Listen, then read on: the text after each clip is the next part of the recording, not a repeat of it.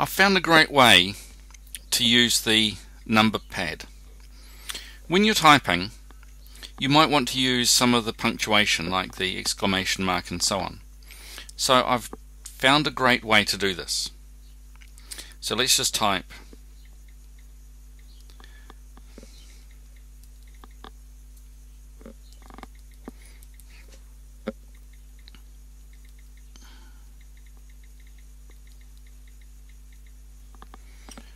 Great new trick.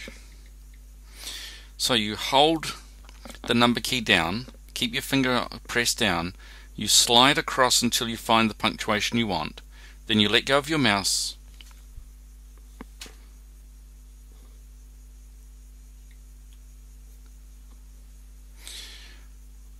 So when you're ready for punctuation, you hold your finger down on the number pad, so the 1, 2, 3, and it changes it to the number. Keep your finger pressed down Slide across to find the punctuation you want. Release your finger and it puts in the punctuation and it jumps you back to the letters rather than the numbers.